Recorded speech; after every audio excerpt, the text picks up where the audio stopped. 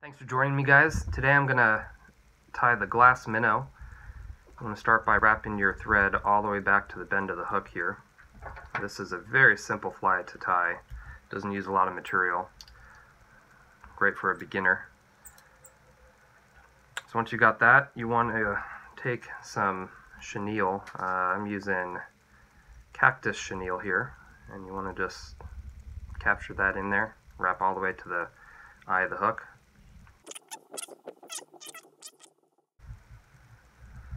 And we're about close enough here. You don't need right up to the edge, but definitely enough to cover most of the hook shank. Alright, once we've got that, you want to make sure all these fibers are sticking straight up. Then we're going to take our synthetic fiber. Today I'm tying this in a white color, so this is going to be my white synthetic fiber. Measure out how much you're going to use. Want to use about twice as long as the hook shank, so that's about right. I'm going to double that up and cut off that amount. So now we've got double of what we'd had. And you want to make sure and separate the end here. Kind of break this up a bit so it's not squared off. Taper it. Alright. Then we want to tie in our fiber. And you want to use very little amount of this. As you can see, it's very wispy. You don't want a lot. Um, wrap that a couple times to hold that in place. Then we take a piece of crystal flash. To double it up on itself. Do that once more. So basically returning one piece of crystal flash into four. Alright, we do exactly the same thing. We tie that piece crystal flash in. Okay. Double the whole thing over on top of itself.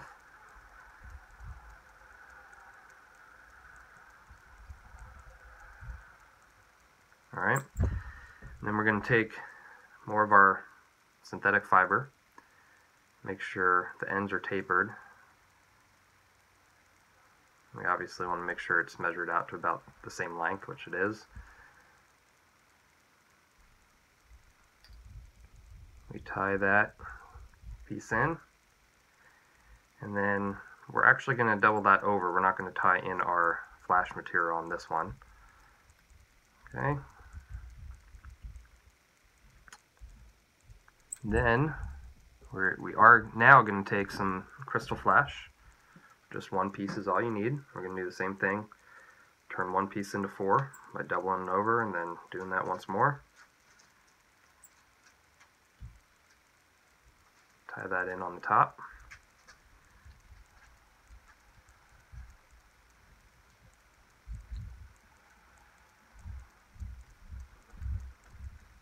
Okay, cover everything up form a small head on this.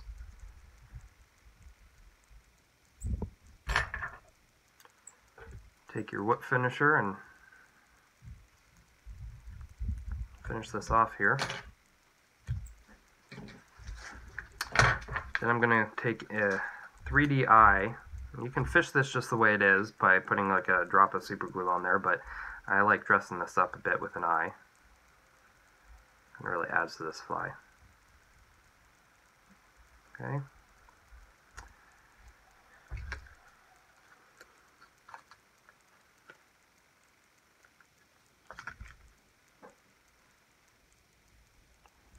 Make sure both are aligned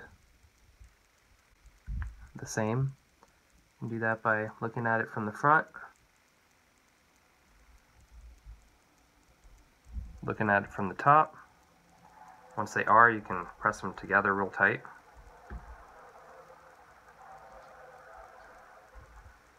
Get as close as you possibly can. And I'm going to take Solarez, this is a, uh, a UV curing epoxy.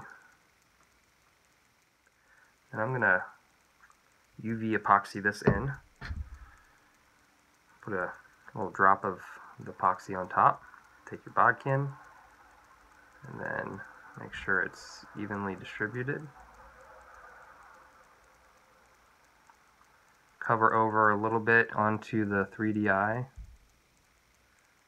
and make sure some of it is going back to where the materials are that you tied in. Okay? And then you want to pull the material to angle it upward. Don't need all of it, just the top part of it. And then epoxy that on. And then we're going to do the same to the bottom part of the fly.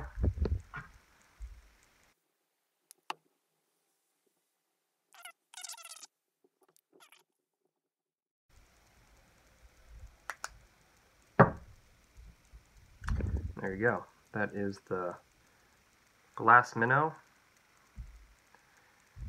When it gets wet, the ends will actually adhere to each other.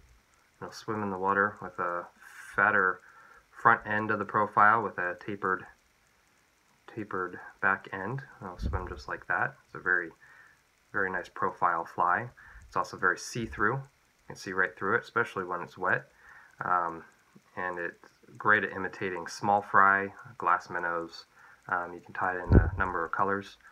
Uh, I like just white, but um, it, it works great with many colors. You can also even alternate the color, put a darker um, you know, fiber up top to give it more of like a white belly and a, you know, whatever color you want. Um, but a very versatile fly, uh, lightweight, easy to cast,